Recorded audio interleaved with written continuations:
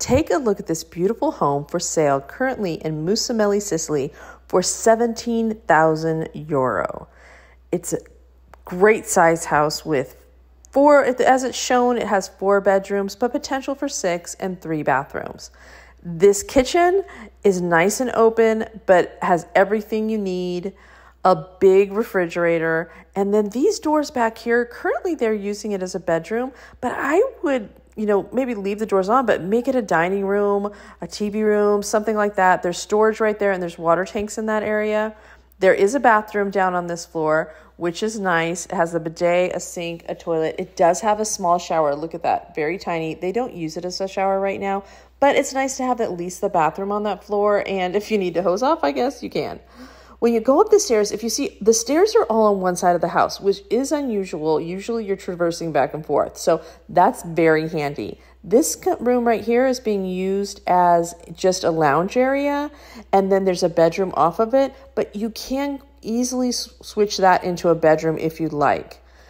These beds were twin or full, so you can at least get a king size bed in that space. Now, this is a sketchy bathroom, I know. This storage area, uh, but I just put a wall with a door so you're not going to the bathroom staring at storage and also spruce up that toilet area. But it again, nice to have it on that floor. You're not walking up and down all the time.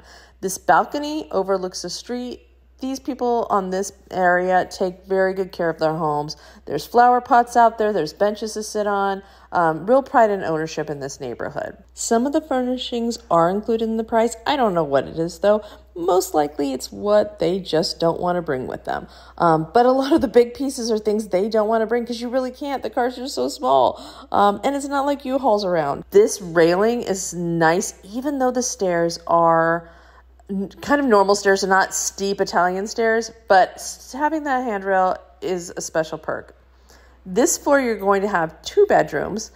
There's one here, and then you walk through to the other one. I know the first thing you're going to think is, what is that gargantuan water tank doing there? It actually is an extra water tank. So you can take it out, or if you want to use it, you can put it on the roof, put it upstairs in the storage, or, you know, wall it off if you want to. The tiles in this bathroom are so beautiful the video really doesn't do it justice. Now, here is a shower. It has like this baby bathtub that's the bottom of the shower. I would take that out and uh, wall it off with glass wall and make it a shower. And even you can, there's space on the other side of the wall if you want to open that up more and make it a longer shower, you could. Um, this bedroom the, uh, has a balcony also, but when you're walking through to the other bedroom, the doors that you saw downstairs, you can do that kind of system in there to make a hallway right as you're looking. So that other bedroom would have privacy and kind of slider doors to open.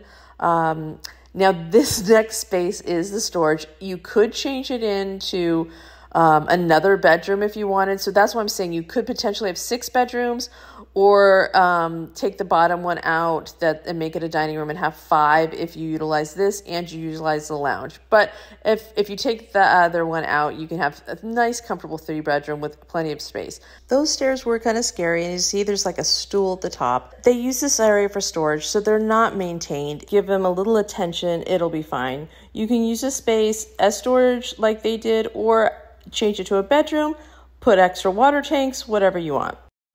We post a new house every week, so hit subscribe and you won't miss one. You'll also be able to see travel, cooking, videos of our podcast, and more.